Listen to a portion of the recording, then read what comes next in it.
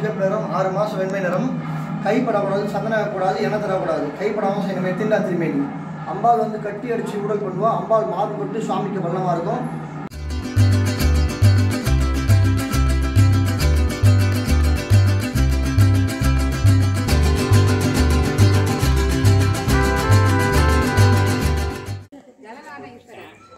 ஜல?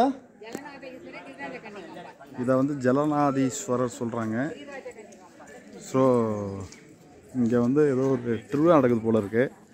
ஃபுல்லாகவே வந்து ஷெட்டெல்லாம் போட்டு இதுவாக போட்டு வச்சுருக்காங்க. கோபுரம் தெரியல. அதனால் பின்புறம் வந்து எடுக்கிறோம். இந்த பாருங்க.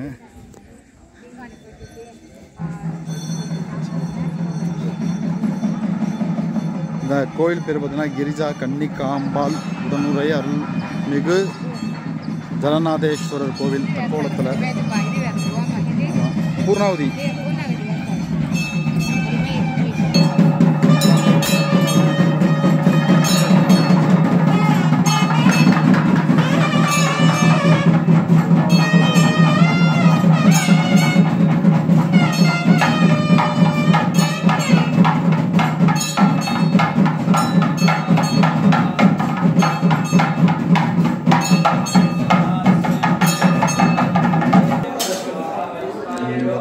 நடராஜர் இருக்காரு. நடராஜ பெருமான்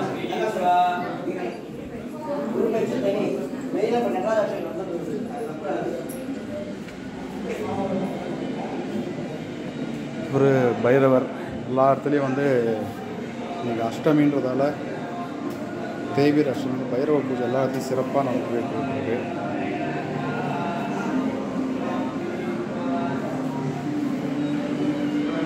இந்த பாருங்க.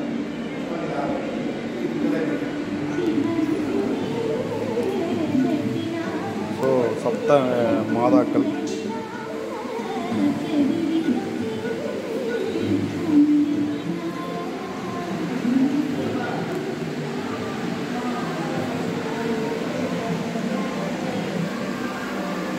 அப்பர் சுந்தரர் மாணிக்க வாசகர்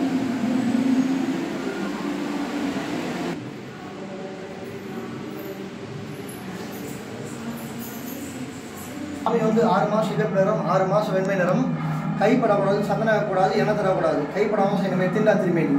அம்பாள் வந்து கட்டி அடிச்சு ஊடல் பண்ணுவோம் அம்பாள் மார்பு கொட்டு சுவாமிக்கு பள்ளமாக இருக்கும். அதே மாதிரி தட்சிணாமூர்த்தி தலையை சாட்சி செவியான குறைகளை கேட்பாரு. ஒரு காதல குண்டல் இருக்கும் ஒரு காதல குண்டலும் கிடையாது. கீழே வந்த இடத்துல முன்னீர் மோசனம் பெற்றிருக்குங்க. சாப மோசனம் பெற்று மான் பாம்பு மேலே ஆலங்குடி மரம் கையில் உத்ராட்சி கொட்டை. தமிழ்நாட்டிலே மூன்றாவது ஒரு பரிகார ஸ்தலம். ஆலங்குடி மாயவரம் தக்கோலம் கிரிராஜ கணிக்காமல் அம்பாள் வந்து லட்சம் தெற்கு இருக்கும் இது மட்டும் வடக்கு. அம்பாளை பார்த்து வந்து சுவாமி பார்க்கணும் அம்பாள் வந்து பண்ணுற மாதிரி சுவாமி கைதிக்கும் ஓகே. தட்சிணாமூர்த்தி சொல்லியிருக்கேன் லட்சம் சுவாமி மட்டும் ஃபோட்டோ. பாபு கொடுக்குது இது. எனக்கு பிடிச்சி இதுக்கு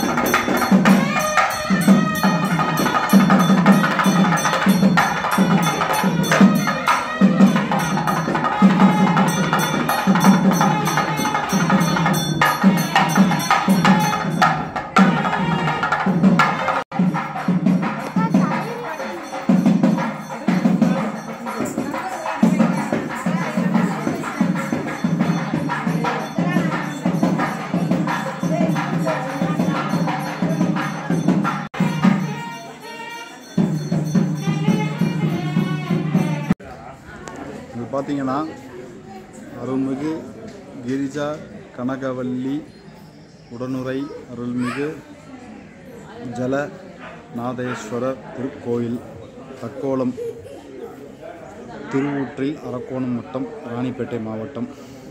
தமிழ்நாட்டில் பார்த்தீங்கன்னா மூணாவது குரு பரிகார ஸ்தலம் இது. தட்சிணாமூர்த்தி அபூர்வ திருக்கோலம். இங்கே அபூர்வ திருக்கோலம் கொண்டிருக்காரு.